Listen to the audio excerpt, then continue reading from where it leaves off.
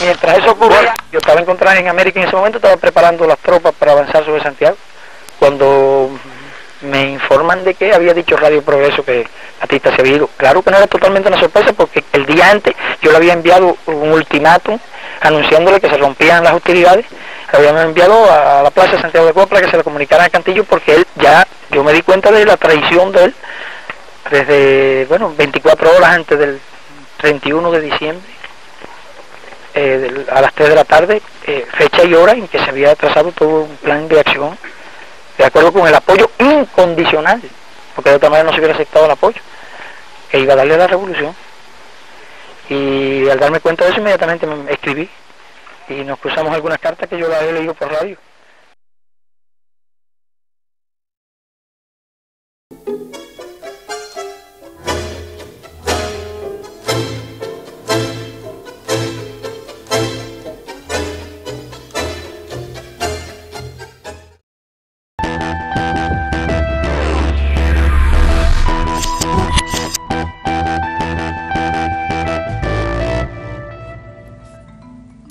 Estamos eh, en esta charla con eh, Marta Maffei, que nos vino a visitar a, nuestra isla, a nuestro Cartago. Eh, la recibimos en nuestra humilde casa. La verdad, Marta, em, primero muchas gracias por venir, porque estás con la agenda ahí a mil.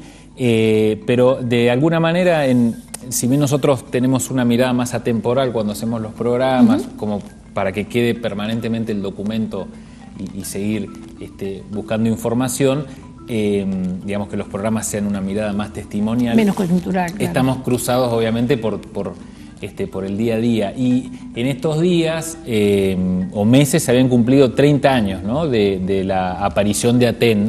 Eh, eh, en, el mapa político neuquino. Como apareces en el documental La Chispa, eh, bueno, ha sido predominante también las figuras políticas de, de los últimos años en Neuquén, conoces de raíz, ¿no? ¿Qué ha sucedido? Como quisiera algunas valoraciones, ¿no? Sobre esto, este principio de esos 30 años de la lucha de Atenas. Bueno, en realidad son, eh, para dejarlo un poquito más aclarado, son 30 años de la institucionalidad de Atenas.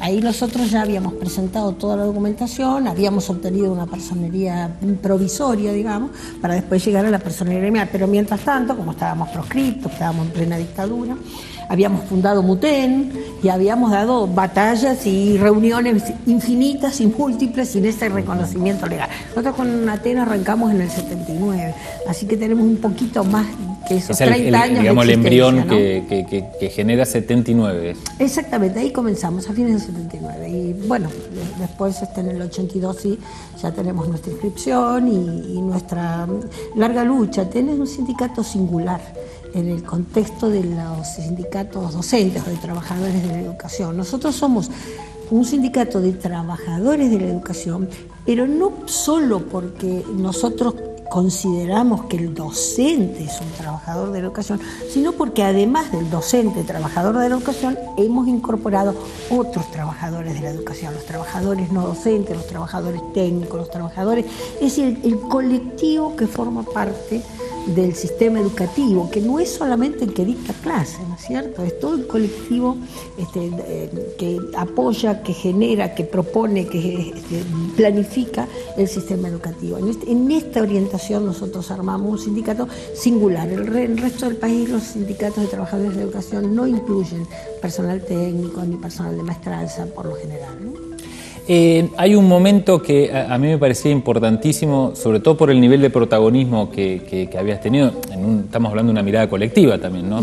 Em, cuando eran los gobiernos de Zapag, ¿no? Y sabes que ahora la distancia, lo conocerás mejor que nosotros, Zapag incluso está visto como, tal vez por la comparación directa con lo que ha sido Sovich, eh, o lo que es Sovich permanentemente, más allá de que se oculta en los partidos de básquet para no ir a declarar a la justicia, eh, la, mirada de que, bueno, pero era, al fin de cuentas fue un buen dirigente, podía caminar tranquilo.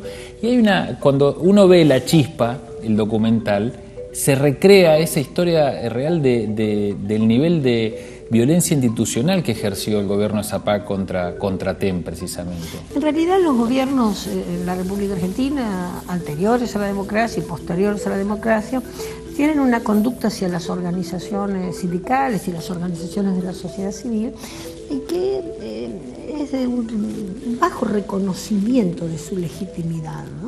Eh, bueno, ustedes representan solo un sector, no están todos afiliados, no, no tienen eh, todo el consenso construido adentro, y hay una tendencia fuerte en las políticas en América Latina y en Argentina particularmente, una política muy fuerte dirigida a ningunear las organizaciones o a cooptar las organizaciones. hablemos de caló para que la gente entienda de qué estamos hablando. Si el poder político ejerce hasta fracturas internas en las organizaciones sindicales, desprendimiento, genera, este, si no puede fracturar el sindicato, genera este, una, dentro, en el mismo sindicato, una parte del sindicato aliado con el con el poder político, eh, genera descrédito, la presión sobre los compañeros y lo que no puede cooptar lo destruye, ¿no? Y en muchísimos casos, yo recuerdo históricamente en huelgas nuestras, el gobierno de Zapal llamando a los padres a tomar las escuelas e impedir el ejercicio democrático de la lucha de los trabajadores. O sea, hay una, una trayectoria, eh, es un modelo de ejecución política, de gestión política, que esquiva los consensos, y esquiva las formas democráticas de llegar a los consensos. Eh, traba la posibilidad de una participación genuina de la comunidad, aceptando la pluralidad y la diversidad. Uno sabe que en algún momento esto tiene que terminar, digamos, con una decisión que se tome y que se tiene que tomar, digamos, por mayoría. No es posible contener siempre el consenso de todos cuando hay que tomar una decisión, pero ni siquiera está en la gestión. La gestión no es para conceptuar, sino para cooptar. Yo recuerdo más de, más de alguna oportunidad algún ministro convocándote para decirte, bueno, a ver, ¿cómo se arregla Claro. Y yo decía, poniendo plata, discutiendo los salarios. No, no, no, pero dejemos todo de lado. ¿Cómo se puede arreglar? No saben cómo decirte, ¿no? ¿Querés que hagamos un corte? ¿Cómo no? hacemos un corte y seguimos en esta charla eh, que tenemos hoy en Cartago, en, en esta emisión especial este, en la que nos ha venido a visitar Marta Maffei. Ya venimos.